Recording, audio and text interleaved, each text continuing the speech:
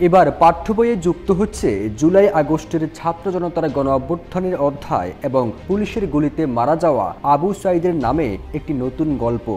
প্রাথমিক থেকে উচ্চ মাধ্যমিক স্তরের পাঠ্য বইগুলোর পেছনের প্রচ্ছদে যুক্ত হচ্ছে অভ্যুত্থানের গ্রাফিতি বা দেয়ালে আঁকা ছবি এবং ক্যালিগ্রাফি। বাদ দেওয়া হচ্ছে পাঠ্য বইয়ের পেছনে প্রচ্ছদে থাকা সাবেক প্রধানমন্ত্রী শেখ হাসিনার ছবি ও তার বাণী। পাঠ্য বইয়ের ভেতরে কাভারে আওয়ামী লীগ সরকারের বিভিন্ন উন্নয়নের প্রচার ও শেখ মুজিবুর রহমানের ছবিও সরিয়ে ফেলা হচ্ছে। এছাড়া বইয়ে জুলাই বিপ্লবের ঘটনা প্রবাহ, অধ্যায় বা অনুচ্ছেদ আকারে থাকতে পারে। এর বাহিরে পুলিশের গুলিতে মারা যাওয়া আবু সাইদ ও মীর মুগ্ধর জীবনী রাখার বিষয়েও প্রাথমিক আলোচনা সেরেছে জাতীয় শিক্ষাক্রম ও পাঠ্যপুস্তক বোর্ড। মুক্তিযুদ্ধ ও ইতিহাসের নায়কদের অতিরঞ্জিত ইতিহাস বাদ দেওয়া হচ্ছে। যার যেটুকু অবদান সেটুকুই স্থান পাচ্ছে পাঠ্য বইয়ে। সেই কারণে জিয়াউর রহমানের স্বাধীনতা ঘোষণার বিষয়টি পাঠ্য বইতে যুক্ত হচ্ছে। Double million offer Walton fridge কিনে পেতে পারেন বিশ লক্ষ টাকা। রয়েছে কোটি কোটি টাকার নিশ্চিত উপহার। রাজনীতিতে নারীর অবদানের জায়গায় খালেদা জিয়াকে অস্বীকার করা হলেও এবার বইয়ে তার নাম যুক্ত হচ্ছে। একই সঙ্গে ইতিহাস নির্ভর বিষয়েও অনেক পরিবর্তন আনা হচ্ছে। এসব তথ্য জানিয়েছে এনসিটিভি।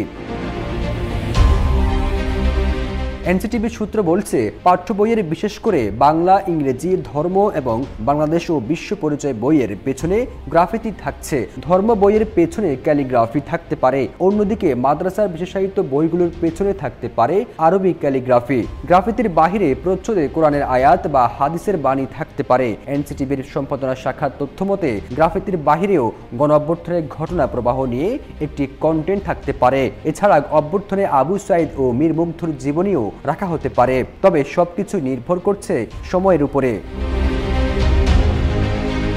এ বিষয়ে এনসিটিভির চেয়ারম্যান অধ্যাপক A K M Riazul Hasan জানান, জুলাই অভ্যুত্থানের স্মৃতি হিসেবে গ্রাফিতি যুক্ত করার বিষয়টি মোটামুটি চূড়ান্ত করা হয়েছে। তবে অভ্যুত্থানের শহীদদের জীবনী এখনই সংযুক্ত হবে কিনা সেটি এখনও চূড়ান্ত হয়নি। বিষয়টি নিয়ে প্রাথমিক আলোচনা হয়েছে স্বীকার করে তিনি বলেন, এই স্বল্প সময়ে সেটি লেখা যাবে কিনা তা এখনও নিশ্চিত নয়। তবে স্বল্প সময়ের মধ্যে শহীদদের জীবনী লেখা গেলে এটি যুক্ত হতে পারে, নয়তো পরিকল্পনা থেকে বাদ দেওয়া হতে পারে। তিনি আরও বলেন, ভালো মানসম্মত লেখা চেয়েছি, সেজন্য মন্ত্রণালয়ের অনুমোদনের প্রয়োজন পড়বে। তবে অভ্যর্থনে কিছু গ্রাফিতি ইতিমধ্যে বিভিন্ন বইয়ে স্থান পেয়েছে। কিছু বই ছাপানো কাজ পেয়েছিল ভারতীয় প্রতিষ্ঠান। সমালোচনা হওয়ায় ওইসব প্রতিষ্ঠান বাদ দিয়ে দেশি ছাপাখানাগুলোকে বই ছাপার দায়িত্ব দেওয়া হয়েছে।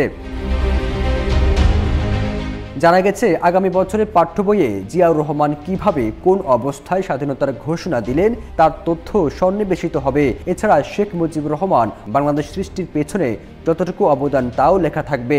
বিগত সরকারের সময় পাঠ্য বইয়ে শেখ হাসিনা, শিরিন শারমিন চৌধুরী ও দীপমণির অবদান লেখা হলেও খালেদা জিয়ার নাম নেই। সেই কারণে আগামী বছরের বইয়ে তার নাম যুক্ত হচ্ছে। এছাড়া বিগত সরকারের সময় সুবিধাভোগী ডক্টর মোহাম্মদ জাফর ইকবালের নাম বইয়ের রচনা ও সম্পাদনা থেকে বাদ যাচ্ছে। ফিরোজ আলম জাই দিন।